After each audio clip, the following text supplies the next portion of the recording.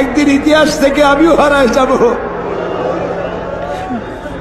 কেয়ামতের দিন আল্লাহ যেন আমাকে মাফ করে দেন। আমি কিচ্ছু চাই না আল্লাহর কাছে। আল্লাহ যদি বলেন কেয়ামতে তোরে মাফ করে দিলাম, এর থেকে বড় পাওনা আমার নাই। হায় আল্লাহ, এদেশে ইসলামের জন্য কারা রক্ত দেয়? আল্লাহ ইসলামের জন্য কারা মার খায়? ইসলামের জন্য রাস্তায় রাস্তায় জীবন দেয় কারা? তুমি কি না?